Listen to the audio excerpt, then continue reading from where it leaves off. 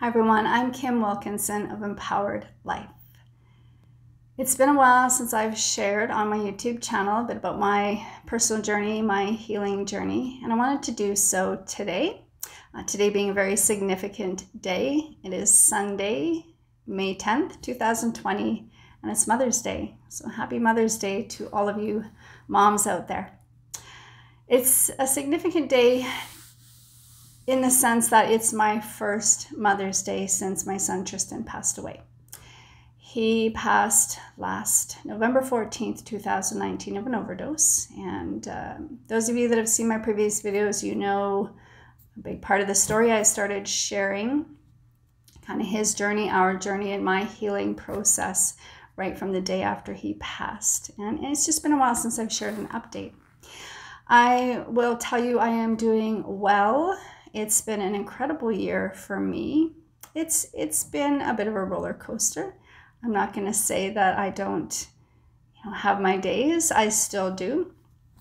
Um, Tristan is often the first thing on my mind when I wake up each day. I think about him when I go to bed at night, and uh, several times throughout the day. If you want to talk about putting yourself in a trigger zone, I am actually currently working about 40 hours a week at the addiction treatment center where he was a client. So I've like dove in right into, um, you know, being reminded of him. But it's been very, very healing.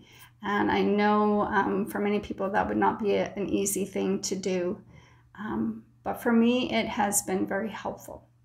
I'm very fortunate, very blessed that, um, you know, before and as Tristan was even kind of getting deeper into his suffering, I was doing a lot of, of training and personal work. And it was like, you know, God, the universe, I don't know, something was preparing me to deal with this major event that was about to happen when he passed. So I had a lot of tools and a lot of support.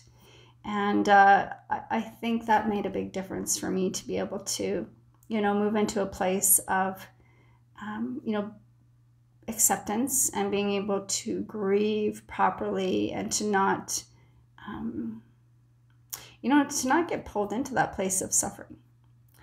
The reality is um, we have all been through some really shitty stuff. We've all had trauma some of us more than others and to deeper degrees or levels than others. Some of us may be going through it right now and we're going to go through more in the future. This whole COVID 19 is a perfect example, right?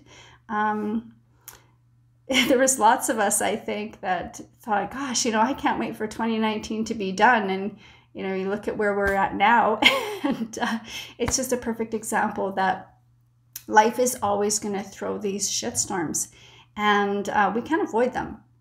So we need to learn to to move through them basically. And, and that's what I've been focusing on. That's what I've been doing. And I can tell you it works. There are days where I come down here to my Zen den in the morning and I do some yoga and meditation before I go to work. And many of those mornings, the tears are falling on my yoga mat or streaming down my face. And I feel that sadness and I, and I miss him.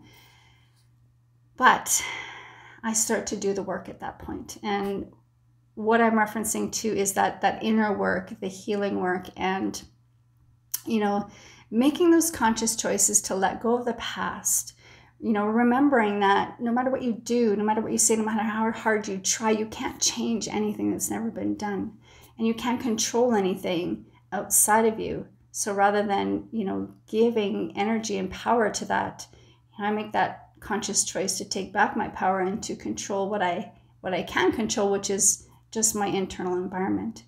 And then I choose to shift my thoughts, right? So rather than thinking about, you know, the unpleasant things with Tristan, I think about the positive things, you know, with him, the great memories that I have with him. I think about how grateful I, am that he is not suffering, that he is in a place of peace, and that there is no more suffering. I think about all of the gifts that he gave me, and I don't mean physical gifts. He did give me some pretty awesome, um, you know, really personal things that he made the last few years. But I mean, the gifts of knowledge and experience and life lessons, you know, these gifts of, you know, understanding acceptance and non judgment and unconditional love and forgiveness. And, you know, being able to find meaning and purpose in what he went through and the path that he put me on is such an incredible gift. Um, I mean, to now to bring all of that into empowered life and to add to what I've been doing with sharing and helping and teaching, um, to be able to help others. He gave me that gift, and, and what a great gift.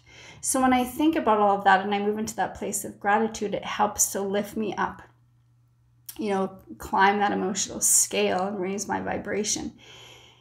And then gratitude for everything else that I have, you know, um, you know, my family, my husband is who is so supportive and, and you know, our other five children, my daughter who is just blows my mind. She's, you know, stronger and smarter than I was at that age for sure and uh, resilient. And then, you know, these four incredible stepchildren that all of them in their own way have such amazing gifts and talents.